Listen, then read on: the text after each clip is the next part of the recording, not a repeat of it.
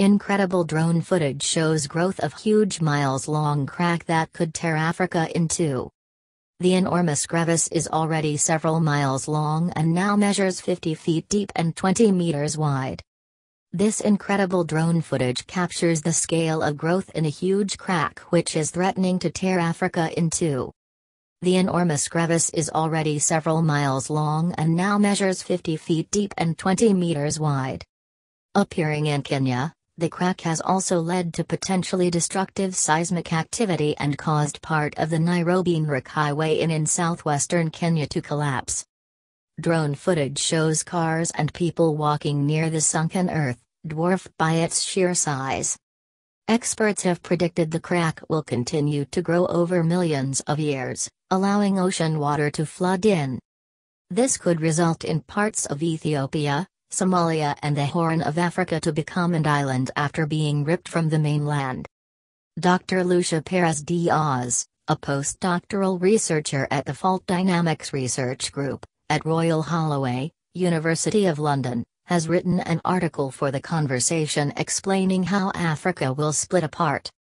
She said tectonic plates in the Earth's crust and upper mantle can create a rift when they rupture and an active example is the East African Rift Valley where the crack has appeared.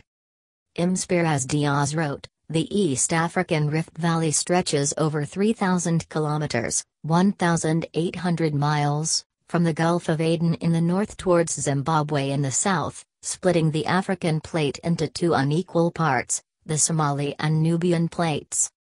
Activity along the eastern branch of the Rift Valley, running along Ethiopia, Kenya, and Tanzania, became evident when the large crack suddenly appeared in southwestern Kenya.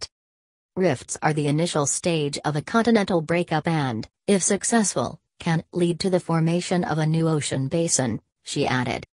The scenario played out when a huge land mass broke in two, creating what's now known as South America and Africa around 138 million years ago.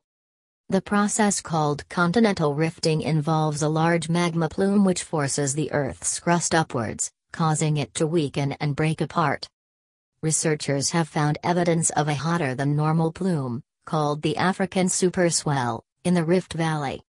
The rift that has appeared in Kenya is spreading at just a few millimeters per year.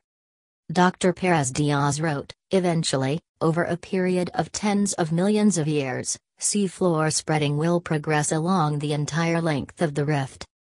The ocean will flood in and, as a result, the African continent will become smaller and there will be a large island in the Indian Ocean composed of parts of Ethiopia and Somalia, including the Horn of Africa. She added, dramatic events, such as sudden motorway splitting faults or large catastrophic earthquakes may give continental rifting a sense of urgency but, most of the time, it goes about splitting Africa without anybody even noticing.